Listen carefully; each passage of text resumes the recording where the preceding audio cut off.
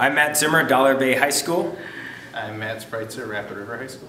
and we're with uh, Research Experience for Teachers, the Woods to Wheels. And what we have done is we took a look at some different combustion styles, the compression ignition and the spark ignition. We've compared those and figured out how we can demonstrate those styles of uh, ignition in a classroom.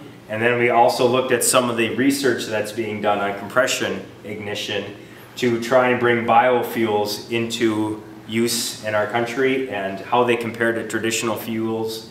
And so we can determine the effects of the biofuel before we put them into widespread use. This right here is a picture of uh, what typically happens in a diesel spray inside of an engine. This is taken from uh, Sandia Laboratories along with the explanation of uh, the liftoff and the different, um, the different zones as far as where, it's, where the mixture runs more rich and lean.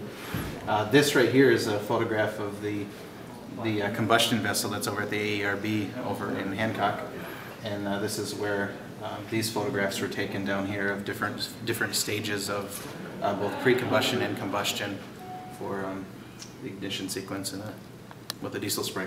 And uh, this is an inside picture of the combustion vessel as well, showing a fan to create a turbulent environment. And the, um, right here are the spark plugs that are designed for pre-ignition, which simulates the, what would happen in an actual um, diesel or compression ignition engine to set the conditions for ignition for, with the spray, which is what, uh, in order to demonstrate what actually is going on there, we get a picture of this device right here, which actually shows how uh, compression ignition works, where we can place a, a um, piece of material that will, has a fairly low flash point, and we can compress it and actually ignite it.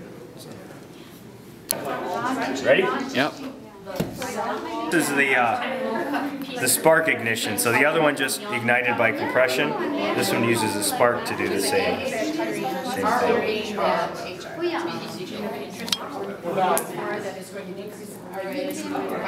Try and vaporize. Ready? Yep. Danger, Will Roberts.